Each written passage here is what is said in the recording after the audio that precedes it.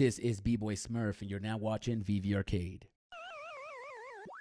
That's right. Today we're going to get into my favorite top three Marvel Mighty NFTs on the app. Some of you guys might not like them, and at first, I'm not gonna lie, neither did I, but they end up growing on me. And now that I can think of gamification coming to the app, I'm even more bullish and more excited on these Marvel Mighties. Plus, VeVe thinks so too. They gave them so many FAs. Why would you make these FAs unless they were gonna be relevant? and a pillar to the app. Guys, these are my top three favorite NFTs. Marvel Mighties, let me know what yours are. Let's get into it. My favorite Marvel Mighty number three would have to be Spider Man. Look at that thing. It looks like a midget, a weird looking Spider Man with a big head. I love it, guys. The details, the colors, the blue, the red, the shapes the the hand gestures. He's throwing up the illuminati symbol. Guys this is so cool. And to be able to see like a little toy spider-man it reminds me of a funko pop. The only thing is that if you look at the bottom of his foot there's a little discoloration.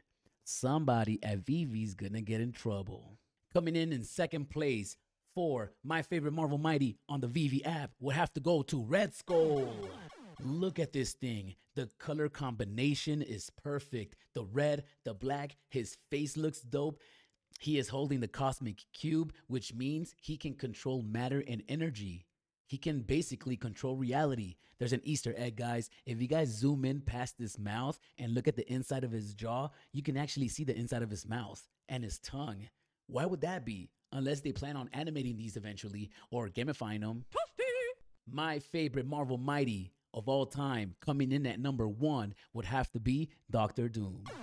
Just look at this thing. He looks medieval. He looks like a wizard, a terminator, a time traveler. He looks so powerful. The green, the gray, the silver, the metal, the gold button, his mask, it's so iconic. It's so intimidating, guys. I love the way that VeVe captured him with the with the fist, his posture, his cape. Look at his cape. It's like it's flowing in midair. Guys, hands down, hands down, one of my favorite NFTs on the app. But enough about me. I want to know about you. Which ones are your favorite? Let me know in the comments down below. Oh, oh, oh, oh, oh. Now, before I forget, I do have an honorable mention. Mr. Fantastic. I love Mr. Fantastic. No, not because of his superpowers, because he reminds me of Paulie from The Sopranos. That's right. Guys, please like the video, please subscribe, and I'll see you in the next one.